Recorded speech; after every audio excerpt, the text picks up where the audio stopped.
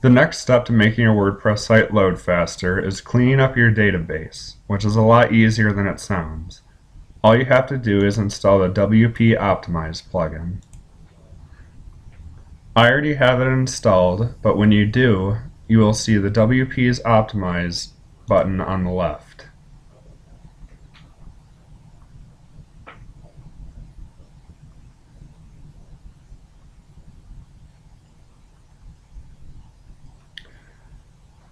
So I like to have this one deselected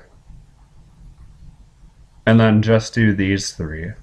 So basically you can see WordPress automatically stores post revisions in your database as well as auto draft posts as well as your spam folder and none of these you really need unless you do go back and restore or earlier versions of your posts but most people don't, and these are just added milliseconds to your load time. I would leave these deselected and make sure that you take a backup before running this plugin just in case. So once you do, you can go ahead and process it, and it will take a few minutes to run.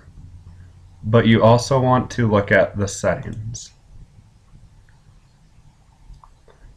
So you can enable this plugin to run every week or periodically.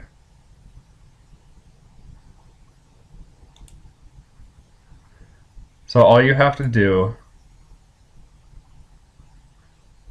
is make sure that these three are selected and keep this selected and hit process. And when you're done, you can proceed to the next step.